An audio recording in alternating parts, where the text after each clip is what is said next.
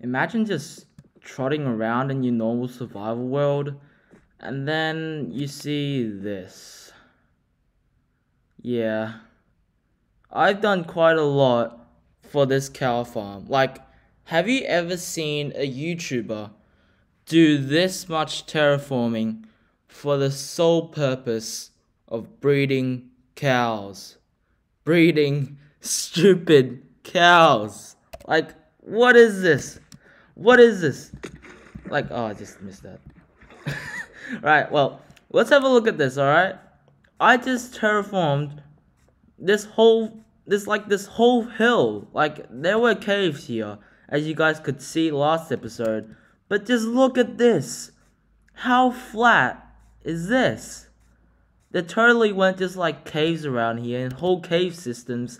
And I totally didn't just, like, cover them up with dirt and get, like, I don't know, six or seven stacks of dirt in the process. And you can tell because, I mean, look at the durability of this shovel from last time. Like, have you ever seen a YouTuber that terraforms a whole piece of land for the sole purpose of breeding cows? I know I haven't. And, um, yeah, this actually took quite a long time. This took hours of work, to be honest with you. Like, this is, this is like just terraforming a whole flat of land. Like, this is so flat now. So, um, yeah, basically I covered up, like, the whole entirety of this hill with dirt. And, um, now it's ready to be built on. So, um, but I, I, I have worked for a long time now and I'm actually getting really tired.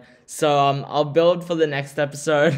anyway, guys, please like and subscribe. This is the amount of effort I put in in my videos just for a cow farm. So please like and subscribe if you want to see more of this. And if you got any suggestions in the comments, please put it in there. But anyway, guys, see you guys in the next episode. Bye.